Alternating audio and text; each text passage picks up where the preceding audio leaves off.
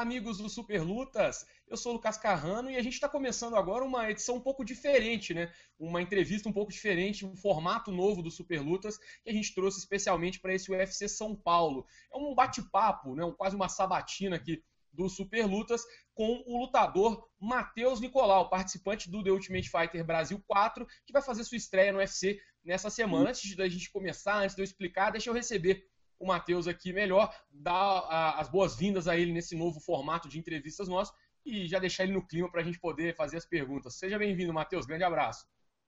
Valeu, Cacarrano. Valeu, geral aí, galera do Super Lutas. E vambora, tô pronto para responder tudo aí. Vambora, então, que, ó, não vou nem dar tempo, hein, cara. Vai ser uma pergunta atrás da outra. Deixa eu começar aqui com aquela básica, né, Matheus? Às vezes o pessoal é, que te conhece só do TUF, que acompanhou você ali durante aquelas semanas na casa, mas tem um pouco mais de curiosidade para saber um pouco mais sobre quem você é. Se você pudesse descrever assim, o é, que, que, você diria? Como é que você contaria? Bom, esse sou eu. É, se apresenta aí para o pessoal que talvez não te conheça tão bem. É até engraçado, você começou com uma pergunta, acho que talvez a mais difícil. É, eu sou meio ruim para falar de mim assim.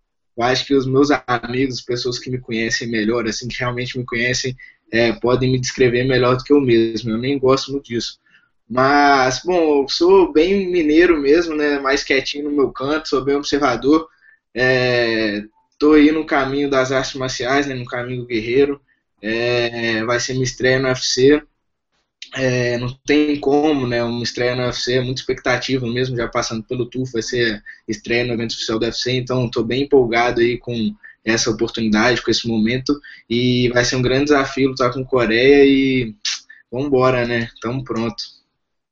Matheus, vou começar, já, a gente já falou um pouquinho sobre você, mas é, já podia entrar direto na luta, mas deixa eu te fazer uma pergunta um pouco diferente. É, a gente acompanha você nas redes sociais, e quem vê você no Twitter, no Instagram, no Facebook, você é um cara muito ativo. É, isso não é tão comum, né? Na maioria dos lutadores, eles não são tão ativos assim.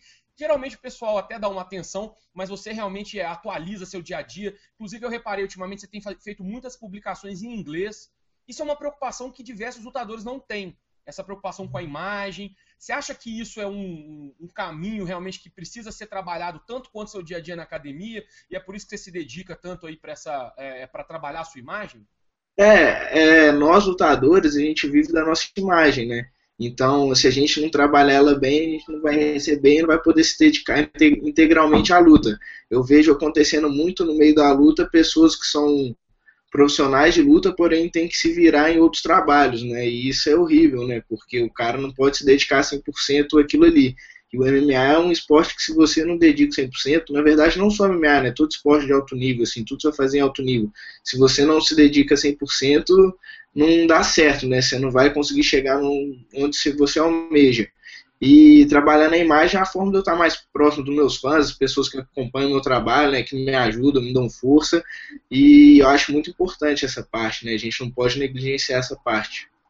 Tem algum atleta em especial que te inspire, né? Tem, tem muita gente hoje em dia, assim, hoje, quem, quem tá em voga é o Conor McGregor, né? Durante um tempo foi o Chael Sonnen, mas, enfim, tem vários nomes que se destacam é, nesse lado fora do octógono. Não necessariamente em trash talk, mas caras que sabem realmente é, falar bem, se expressar, mostrar seu dia a dia é, pro, pro torcedor, como você diz. Tem alguém especial em que você se inspire ou você só tenta ser você mesmo? Olha, é, tem várias pessoas que me inspiram, né? É, não só do meio do MMA, mas até principalmente fora do MMA, assim, tem vários atletas que me inspiram bastante, mas eu sempre tento ser eu, né? As pessoas me inspiram, mas eu tento ser o máximo eu possível, né? O máximo original.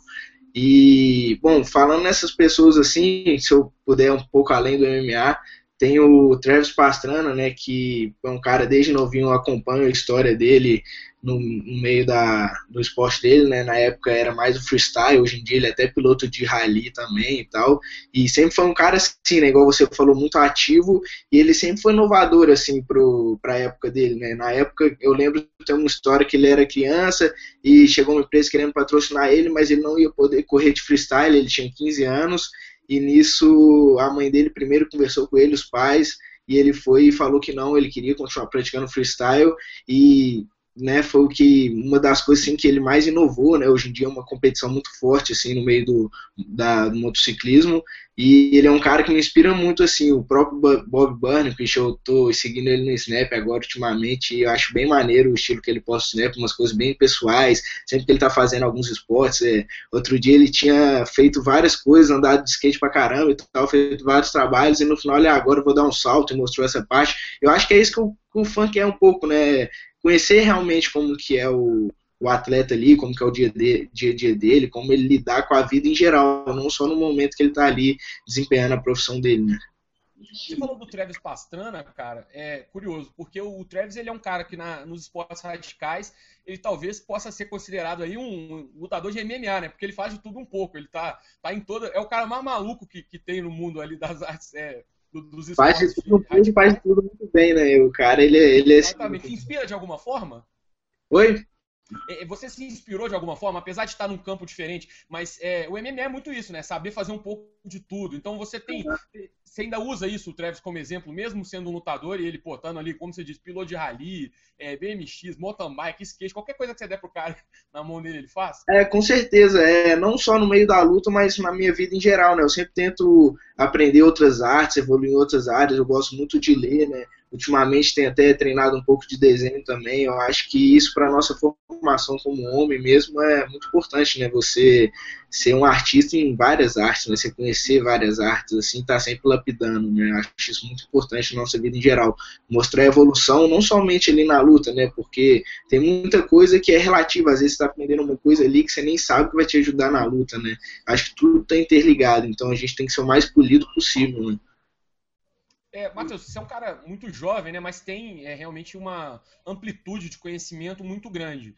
É, você acha que é, isso é comum hoje no meio do MMA ou você se vê meio como um peixe fora d'água? Enfim, como você se, se vê diante dos seus colegas? A maioria dos lutadores, eles têm mais intimidade realmente com o mundo da luta, um ou outro é, conhece um pouco mais, mas como é que você se coloca ali? Você se sente um pouco deslocado? Enfim, como é que é é, essa sua vivência no meio do MMA, sendo uma figura que, como eu disse, muito jovem, mas que, que tem um conhecimento que você já demonstrou em poucos minutos aqui, é, bem amplo.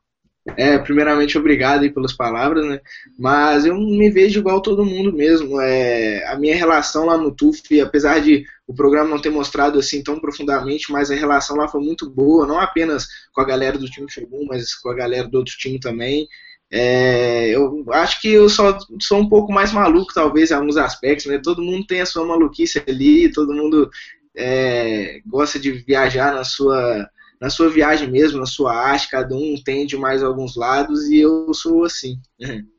Tá certo. Você falou sobre o TUF, vou, vou usar como gancho para a gente falar já sobre o programa, que foi o que te projetou é, para o cenário do MMA mundial, né? Já que agora você está você tá no UFC. Cara, é, no TUF, você acabou. Era um dos caras dos favoritos, né? Desde os primeiros episódios, todo mundo já comentava. Você acabou eliminado pelo Dileno. E o Dileno, eu não sei se é a gente pode chamar daquela é, triste coincidência, foi derrotado na final justamente pelo cara que você ganhou na primeira rodada, que era o Reginaldo.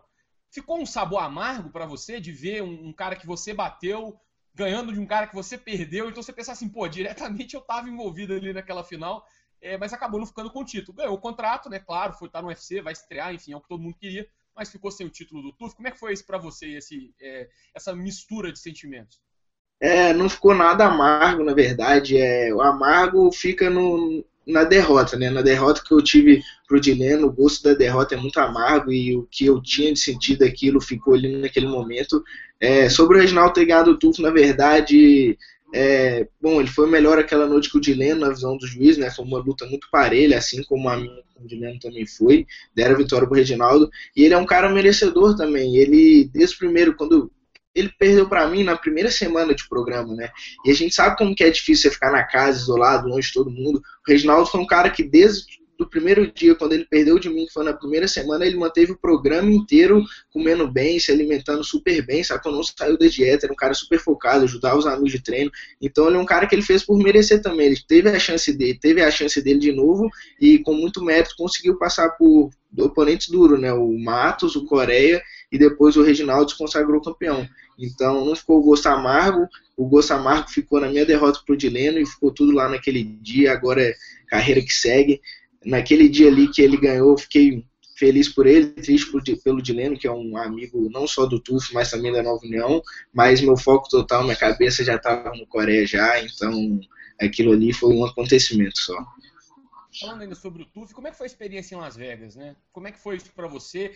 É, você já tinha, você já conhecia a cidade, tirando até um pouco a questão do programa, mas como é que foi isso para você passar tanto tempo longe de casa? É, você já não mora em Belo Horizonte mais, mas enfim, uhum. é, outro país, né, a situação bem diferente. Como é que foi essa experiência para você, como pessoa e também como profissional? É, eu não conhecia os Estados Unidos, né, não conhecia Las Vegas, não conhecia nada dos Estados Unidos. É, apesar de eu já ter passado um tempo na Suíça, eu não morar em Belo Horizonte, morar no Rio, ficar lá sem comunicação é totalmente diferente. É uma coisa que eu nunca tinha vivenciado. Então foi muito bom passar por esse desafio. É, desde o primeiro dia, quando a gente chega lá, que a gente ainda não entrou na casa, né, mas a gente fica a semana inteira sozinho no hotel, é tudo diferente. Você perde peso sozinho, faz as coisas sozinhos, e isso foi bem legal. Então pude ficar, tipo, me conhecer bastante, assim, né, porque você se desliga do mundo exterior, você não sabe nada que está acontecendo. É, o Nazareno até fez uma frase muito legal lá no meio do programa, que um dia ele falou, pô, é, aqui a gente está 100% focado na nossa luta, né, apesar de ter distância da família, a gente não ter comunicação nenhuma, isso é muito bom, porque o Brasil pode estar em guerra com a Argentina, que eu não estou nem sabendo, né, então tá tudo acontecendo lá, eu não tenho notícia nenhuma. Então, esse aspecto também foi legal para a gente focar bem assim na competição, já que é, é, lá é um turbilhão, né, muita coisa, muito rápido, assim, tipo, fiz três lutas em 45 dias, é o que eu faço geralmente um ano, né? Então acontece muita coisa, então foi bom estar focado assim. E sobre Vegas foi muito legal. Graças graças a Deus nosso time ganhou todas as provas, né? Então tudo que teve de passeio a gente aproveitou, né? A gente teve oportunidade de ir nas montanhas de Charleston lá, onde tinha neve, tudo, fizemos uns umas brincadeiras lá. Foi bom para sair também daquele ambiente de programa, de estar trancafiado na casa, assim. Foi muito legal isso também. Demos um rolê de bug, deu para conhecer um pouco Vegas. No final a gente teve a festa de despedida que foi na roda gigante, lá a maior roda gigante do mundo, que deu para ver Vegas inteiro lá do alto. Então foi muito legal, foi uma oportunidade que, como você falou, não só no na minha parte profissional, na minha parte pessoal também me acrescentou muito, assim, a convivência com outros lutadores, foi muito bom o programa em geral. E você diria, o que foi de melhor que ficou para você e o de pior? Com certeza, assim, você não vai falar que foi uma coisa ruim, mas o que certamente teve alguma experiência também que serviu para você aprender, mas foi alguma coisa negativa, né? O que teve de bom e de ruim para você nesses meses que você passou é, lá nos Estados Unidos gravando o TUF? É, eu acho que eu não, eu não consigo te dizer exatamente o que teve de melhor e o que teve de pior, assim. É, claro, a gente sempre aprende em, o dia inteiro em várias situações, né? Seja com exemplos bons e exemplos ruins. É, claro que não foi, o programa não foi mil maravilhas, né? não teve nenhuma. Não, é, claro que tiveram suas discussões, é, querendo ou não, os dois times ali, né? São pô, 16 lutadores, 16 homens dentro da casa, sabendo que um vai lutar com o outro, né? O cara que você toma café da manhã, você pode estar lutando com ele amanhã, né? Então, é, a gente aprende muito sobre convivência, eu acho que foi uma das coisas que eu mais aprendi foi convivência, respeitar o espaço do próximo, sim, porque, pô, dormem quatro caras no mesmo quarto, dividindo o mesmo banheiro, geral, 16 homens dividindo a mesma cozinha, então a gente aprendeu muita coisa, eu acho que eu aprendi muita coisa sobre sobre a convivência. E muitas outras coisas que é até difícil de se dizer, né, a gente, como eu falei, a gente vai aprendendo com os exemplos o dia inteiro, né, é, nós somos animais e a gente age por repetição, né? Então a gente, muito que a gente vê é o que a gente faz, né? E lá eu aprendi muita coisa da organização do programa, o programa um programa muito organizado. É, eu ficava impressionado como que era a organização do programa. Você colocava um dia anterior, um, até o dia, todo dia de noite eles recolhiam eles recolhiam uma lista com, que, com o nome de cada um atleta, com o que eles queriam para o supermercado, suplementos, tudo. No outro dia estava tudo lá. Fora a organização de, da gravação do programa, era tudo muito legal. Assim, eu aprendi muita coisa sobre isso também. Bacana. É, e esse programa acabou ficando marcado pela polêmica do Anderson, né? Teve o Anderson, o, caso de doping dele foi anunciado, inclusive agora já o Anderson já foi condenado, tá, tá cumprindo ainda a suspensão de um ano, que vai terminar em fevereiro do ano que vem mas esse caso foi anunciado durante o programa. Como é que foi isso para vocês? É, tanto, aí vou, vou, até fazer uma pergunta, talvez você possa ser um pouco difícil, mas enfim. Para você pessoalmente, como que isso te afetou pessoalmente de alguma forma? E como é que você uhum. sentiu isso para os demais atletas? Porque certamente teve um impacto coletivo também. Queria que você falasse dos dois, tanto individual quanto coletivamente. É, eu, particularmente, eu estava muito focado na minha missão lá, que era ser campeão do TUF. É, sobre, ainda mais que o Anderson era o treinador do time adversário, então eu não senti tanto com a saída dele em si, principalmente estrategicamente falando. Foi um fator assim que eu senti muito, até mesmo porque é, entrou o Minotauro, que era um cara que já conhecia toda a equipe de treinadores do Anderson, né? Boa parte dos treinadores ali já trabalharam com o Minotauro, eles têm uma certa ligação, né? As equipes dele e tal. E eu não senti muito isso. Eu, é, fiquei triste pelo Anderson, pelo pessoal, pelo pessoal do Anderson, né? Ele é um cara, pô, ele pra, na minha opinião, ele é um gênio assim do, do esporte. Ele que ele, a forma como ele enxerga a luta assim é realmente impressionante o que ele já fez, não precisa nem de falar, né? E é ruim acontecer essas coisas, né? Acaba a mídia falando muita coisa, muitas pessoas julgando ele, né? Ele vinha de uma derrota, de uma duas derrotas, né? Uma lesão séria na perna para o Weidman, então foi um fato muito triste assim para ele pessoalmente, para a carreira dele. Então eu fiquei triste com isso, mas estrategicamente falando não mudou nada para mim assim. Eu continuei no meu caminho, continuei focado no que eu fui lá para fazer, que era ser campeão, que acabou não acontecendo, mas até o último dia lá era o que eu estava focado para fazer. E sobre os outros atletas, eu acho que o cara que mais sentiu assim a saída do Anderson foi o Dedé, né? Porque ele era o que tinha maior proximidade assim com o Anderson, ele era o pupilo do Anderson, então ele eu acho que sentiu um pouco assim a saída do Anderson, ele ficou bem triste, mas é aquilo, né? Quando acontece essas adversidades, aí vai muito do pessoal, né? Ou você pode tirar uma adversidade dessa para te motivar ou para te colocar um pouco mais para baixo, né? Aí vai de cada um. E, é os atletas, os outros atletas em gerais, eu acho que eles também lideram bem assim com a saída do Anderson. É, porque o Matheus Matos, por exemplo, e o Leandro Igor eram atletas que já treinam. Que o Matheus Matos treina na, Tinogueira, o Leandro Igor já treinou muito tempo lá, ele conhecia a maioria dos treinadores, o Edelson era o treinador dele de boxe lá na Pitbull Bros, né? Então acho que muitos eles não sentiram tanto assim. Eu acho que o cara que mais sentiu assim foi o Dedé. Entendi. É, e, e no ponto de vista da organização, teve pausa na gravação? O pessoal fica curioso, né? Como é que foi, assim, muito corre-corre? É, como é que foi isso aí é, no dia que, que, que, que, chegou a notícia de que o Anderson tinha sido flagrado? Como é que foi? Você lembra? Como é que você faria um relato se alguém te perguntasse, olha, Matheus, como é que foi esse dia aí que, que chegou essa notícia? Que foi o momento, acabou sendo o momento mais marcante né, da temporada, foi o que eles anunciaram, enfim, fizeram toda a divulgação. É, isso até volta ao que eu falei antes, como eu fiquei impressionado com a organização do programa, né? Porque a gente, nós atletas, eu não sei se os outros treinadores, mas nós atletas não fazíamos ideia nenhuma. É, eles simplesmente falaram, a gente tinha os horários de treino, o, o, time azul, né, que até então era o time do Anso, eles já estavam, eles treinavam antes da gente, então a gente estava saindo para ir treinar, arrumando para ir treinar, e quando a gente chegou na academia, eles falaram que era para a gente ir lá para para a parte principal, onde tinha um tatame, onde faziam parte das gravações, que eles iam dar um anúncio, e até então a gente não sabia de nada.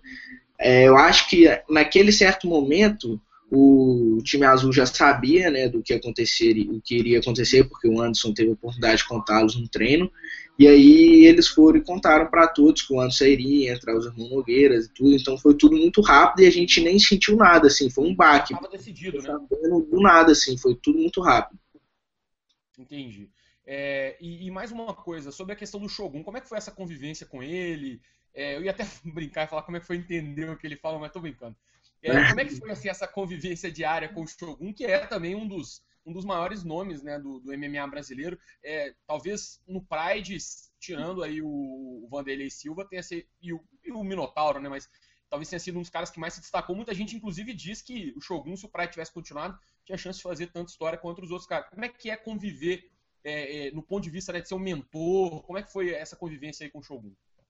É, primeiro respondendo sua pergunta, é, entender o Shogun foi bem tranquilo. Difícil foi entender o Ninja quando ele chegou lá e falou alguns dias. O Ninja foi um pouco mais complicado, mas o Shogun foi tranquilo. É, foi, é, desculpa palavra, mas foi sinistra a convivência com o Shogun. Ele me surpreendeu o tanto que ele tratava a gente como irmãos mesmo, né? Como filhos mais novos, digamos assim. Um irmão mais novo. É, ele ia na casa direto, levava coisas pra gente comer, pra gente, não só ele, mas a equipe, a equipe técnica inteira ia, né? E eles levavam pizza, outros dias japoneses, eles estavam sempre preocupados em fazer a gente ficar à vontade, se sentir em casa. E o interessante é porque eu já conhecia a equipe técnica deles antes, né? Eu já tive a oportunidade, meu treinador de boxe, o Alex Cardoso, ele é de São Paulo, e eu já tive a oportunidade de ir em São Paulo diversas vezes e treinar na academia do Demi Maia. E a equipe técnica que o Shogun levou é a equipe técnica que é a equipe técnica do Demian Maia, né, que é o Pitu, que é o professor de boxe. O próprio Demian estava lá, ele também estava se preparando para a luta dele contra o Ryan LaFleur aqui no Rio.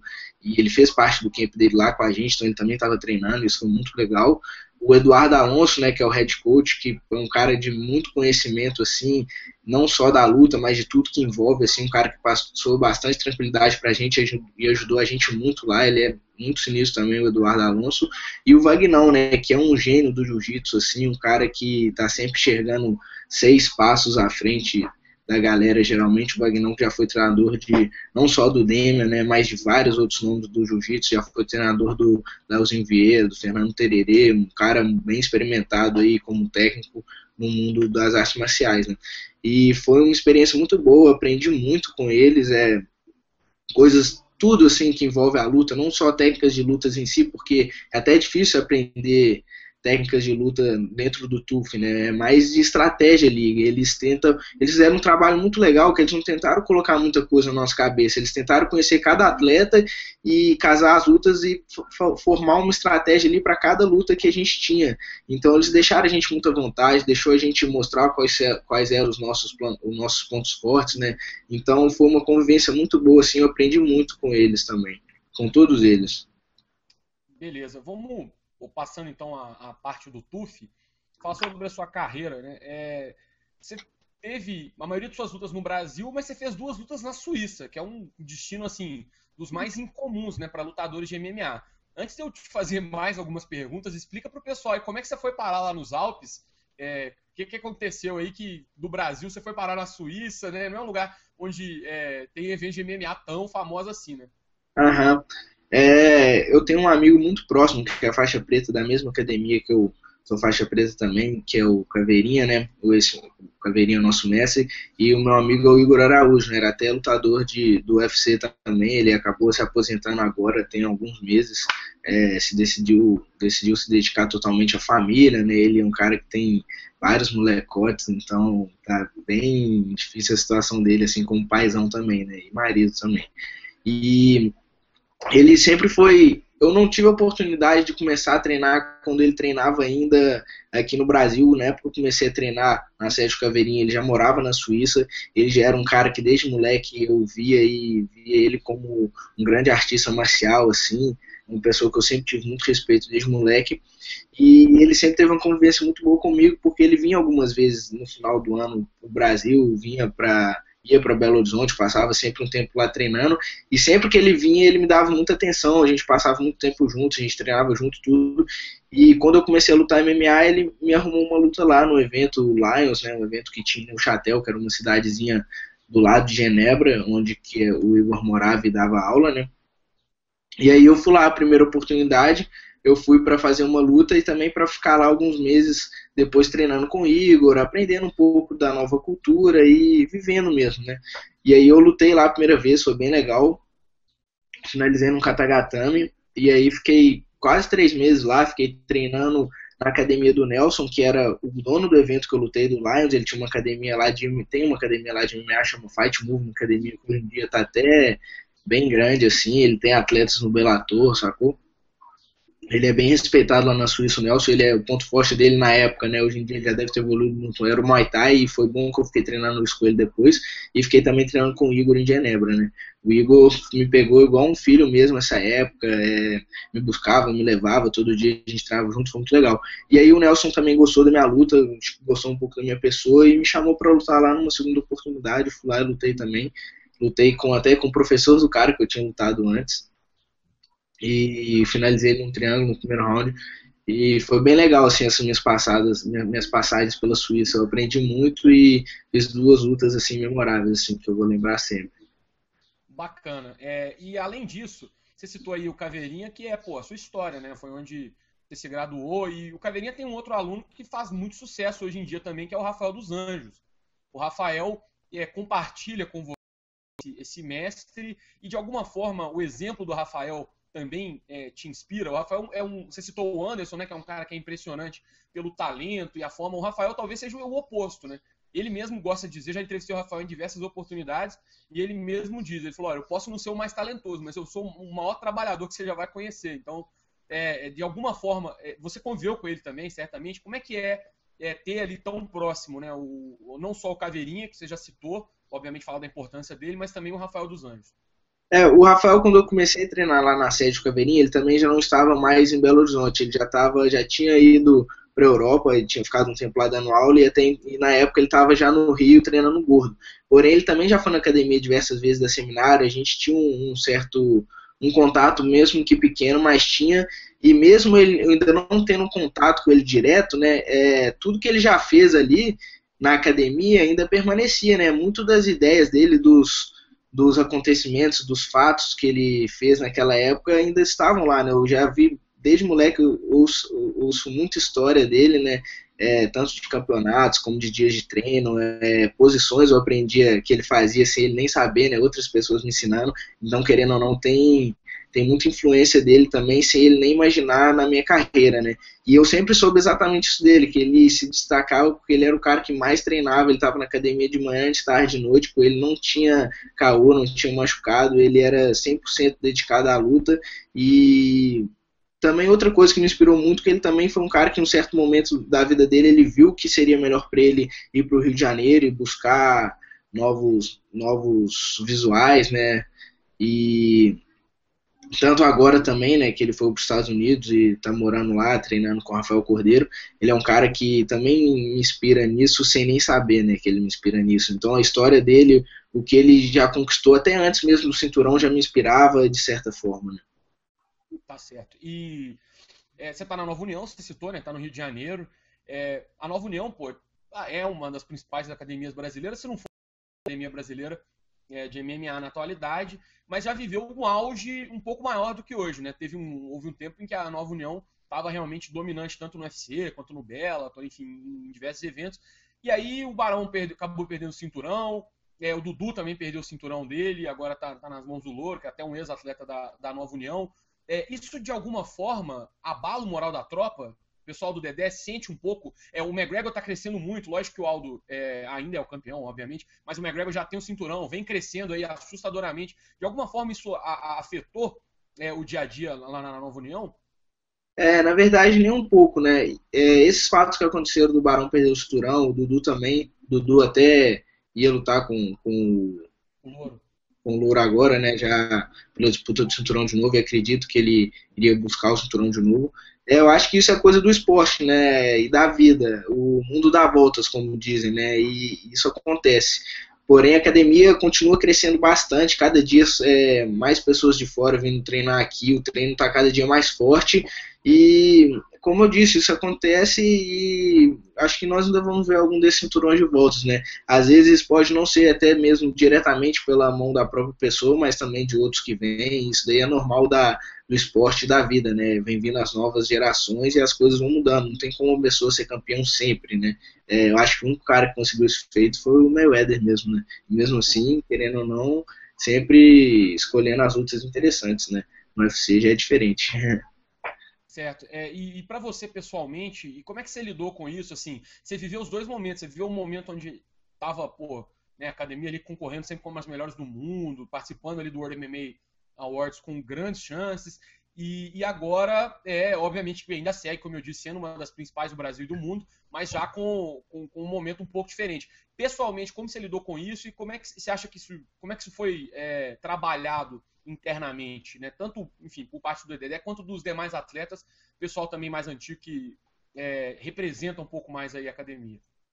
É, pessoalmente, é, eu lidei com isso sem nem me importar. É, você está até me falando isso mais agora, eu estou até pensando mais sobre, porque eu acho que isso daí, como você falou, concorrendo ao prêmio do MMA Awards e tudo mais, eu acho que isso é muito coisa da mídia, né? E eu acho que às vezes, na verdade, as coisas não são como parecem ser. É, eu não acho que existe uma melhor academia do mundo, eu acho que existe a melhor academia para cada atleta, né, onde ele se sente mais à vontade. É, às vezes eu posso ir treinar no Greg Jackson, por exemplo, não me adaptar bem e não ser bom para mim. É, eu acho que as pessoas, as academias, elas conseguem se dar bem porque uma certa conexão do treinador com, a, com o atleta ali Claro, né, que nível de treino, isso tudo também importa, mas eu não acho que exista uma melhor academia no mundo, uma seja melhor que a outra, e até mesmo porque isso está sempre mudando, né? Então, isso para mim não fez muita diferença. Agora, como o Dedé trabalhou, acho que da forma mais natural possível, porque eu vejo ele assim como eu vi, vejo quatro anos atrás quando eu cheguei. É um cara correria total, né, que está sempre tentando é, evoluir a academia de alguma forma, melhorar de alguma forma, às vezes seja no extra, às vezes seja em termos de equipamento, às vezes seja de outras formas, e eu ainda vejo isso nele hoje em dia. Eu acho que isso é o mais importante, né, se manter movimentando, né, se manter evoluindo. Bacana. Vamos passar então para nossa última nosso último tema né, desse bate-papo, que é o UFC Fight Night 77, que é o evento é, qual você vai atuar e por isso né, até a gente é, acertou então é, esse bate-papo aqui. Eu queria falar primeiro com você sobre essa luta com Coreia. Como é que foi essa notícia? Você já estava com um contrato assinado com o UFC quando você recebeu a notícia de que você ia lutar com ele ou você assinou o contrato para essa luta? É, na verdade, é uma coisa meio que já clara dos tubos que todos falavam e sempre acontece dos semifinalistas se enfrentarem, né? Então a gente já sabia que era uma grande chance da gente se enfrentar, tanto é que a gente é, a gente foi, nós nos encontramos no UFC do Rio que teve que o Demian Maia lutou, nós nos encontramos agora no UFC da Honda e a gente ainda não tinha nada assinado, mas a gente já sabia que a chance que aquilo acontecer era grande. E aconteceu o previsto, né, como que todo mundo já tinha falado pra gente que era o que iria acontecer. Então, de certa forma, a gente já sabia, mas ainda não tinha nada assinado, né, não tinha nada certo. Porém, já sabia que era aquilo que ia acontecer. Começando a sua trajetória no UFC agora, é, o que, que você projeta, como é que você se projeta como lutador do UFC e principalmente o que, que você espera apresentar, qual lados do Matheus você, você pretende mostrar aí para os fãs, não só nessa luta, como, enfim, na sua trajetória na organização? É, pra te falar a real, agora eu tô 100% focado no Coreia, né? Eu não sei qual vai ser o meu futuro depois disso. É, até muitas pessoas já me perguntaram se eu vou continuar lutando de 61 ou se eu vou lutar de flyweight, né, 57 quilos. Porém, de nada eu sei do meu futuro. É, eu sei o que eu quero mostrar agora contra o Coreia. Eu quero mostrar o melhor Matheus Colau que todos os meus fãs já viram até agora. É, eu acho que eu tô muito melhor fisicamente, psicologicamente, mentalmente.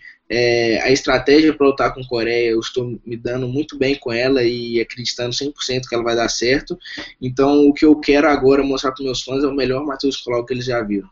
E o que vai seguir depois, eu não sei. Agora, se me perguntar em termos do que eu quero sempre mostrar para meus fãs, sou eu, né? Quero mostrar o que eu sou mesmo, sem muita máscara e, como falei antes, sendo original.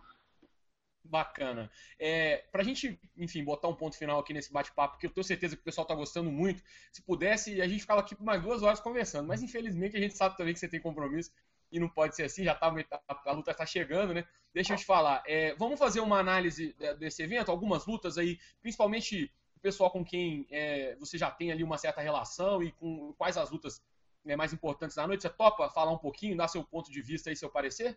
Claro, vamos lá o Clay Guida vai lutar com o Thiago Tavares no card preliminar. O Clay Guida já fez main event de UFC, né? Um cara reconhecidíssimo, até por ser também uma figura meio peculiar, né? Tem aquela vasta cabeleira dele que volta e meia fica embanhada em sangue, né? Então é um, é um cara que o pessoal conhece bastante. É tem um estilinho. Um arroto também, né? Um arroto no intervalo. Eu não queria falar isso, né? Porque vai que, vai que tem criança influenciável assistindo. Mas enfim, é, o Clay Guida é um cara. O que, que, você acha que aconteceu com o Clay Guida? Pô, por ele, lógico que não desmerecendo, né? Lutar no UFC, lutar no UFC, mas um cara que já teve lá em cima, agora vai fazer uma luta de card preliminar aí no UFC. Você acha que é o UFC mostrando que não adianta chegar lá, tem que, que se manter mesmo?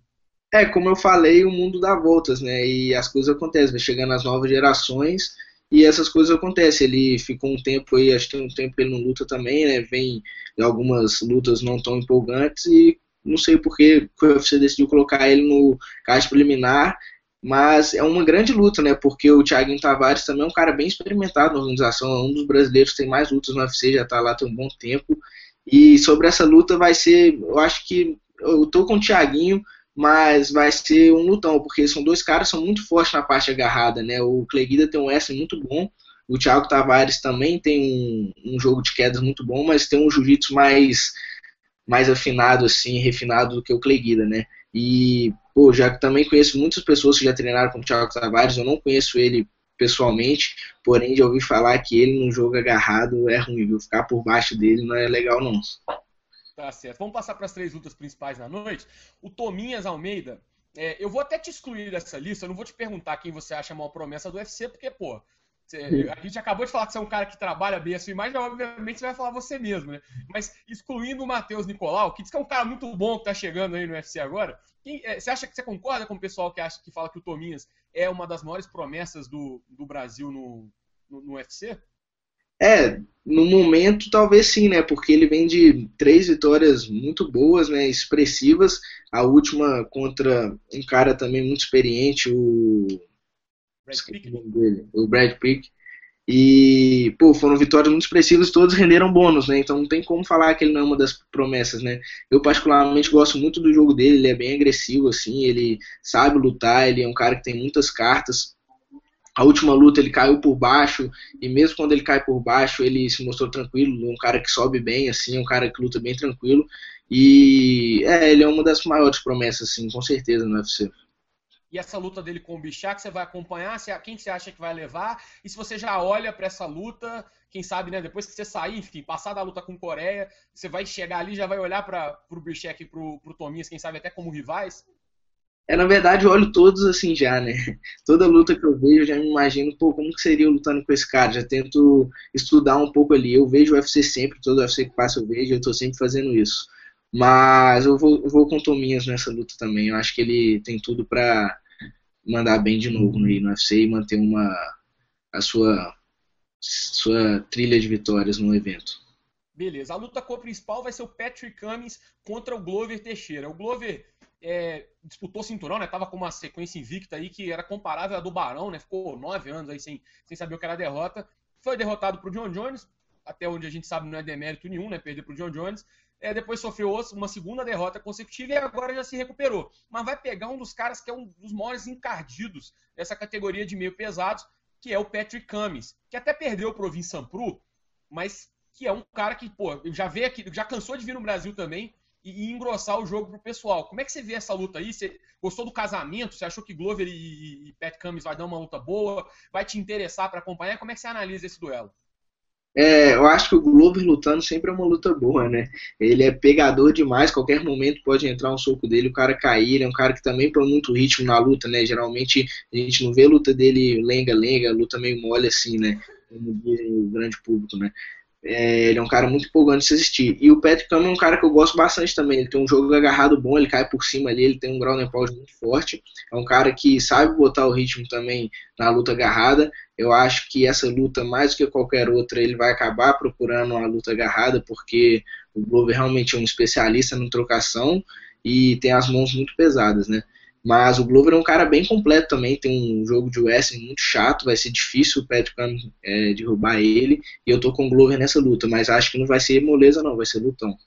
Vai ser uma luta difícil. E bom, é a luta principal dispensa apresentações, né? Vitor e, e, e Dan Henderson, trilogia, é, teve até um sabor especial para você, tá no mesmo card de dois. Pô, o Dan Henderson, o único, ele tem um título do UFC, né, que é de GP, não é de de categoria, mas tem título em todas as organizações. E até o pessoal até brinca que foi bom o Henderson não ter ganhado o cinturão do UFC, porque ele ganha o cinturão do evento, o evento acaba, né? Ele ganhou o cinturão do Pride, Pride acabou, ele ganhou o cinturão do Strike Force, Strike Force acabou. Daí o Dana White deve ter ficado feliz quando aquela luta contra o John Jones caiu, porque aí não teve perigo do UFC acabar. Mas enfim, é, tá no mesmo card de um cara como o Dan Henderson, porque tá com 93 anos, né? Fazendo, lutando ainda é, em altíssimo nível contra adversários fora. E o Vitor, que é, é eu diria até que é o único cara que dá para comparar em termos de popularidade com o Anderson Silva, se não for o maior. O Vitor, para o público médio, é um, a popularidade dele é incrível. Como é que é para você estar tá no mesmo card dessas feras? E fala pra gente também, é claro, o que, que você acha, como é que você acha que vai transcorrer essa luta, enfim, dá, dá seu, seus dois centavos aí sobre esse duelo. É, com certeza são duas lendas lutando, né? É uma honra muito grande estar no mesmo card, não só deles, como do Fábio Maldonado também. Acho que é o cara que eu tô mais feliz de lutar do lado dele, eu sou fãzão dele demais, ele é uma grande personalidade. Mas, é, são, como eu falei, são duas lendas, né, e dois caras com poder de nocaute que dispensa apresentações, né.